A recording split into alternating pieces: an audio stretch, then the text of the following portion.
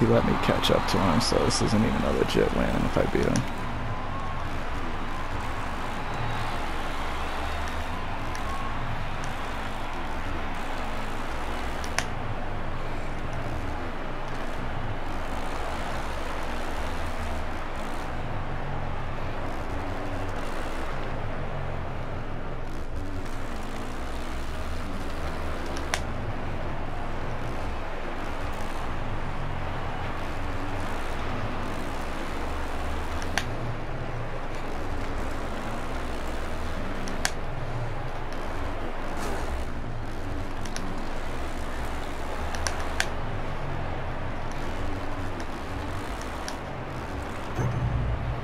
Hey, new fast lap for me.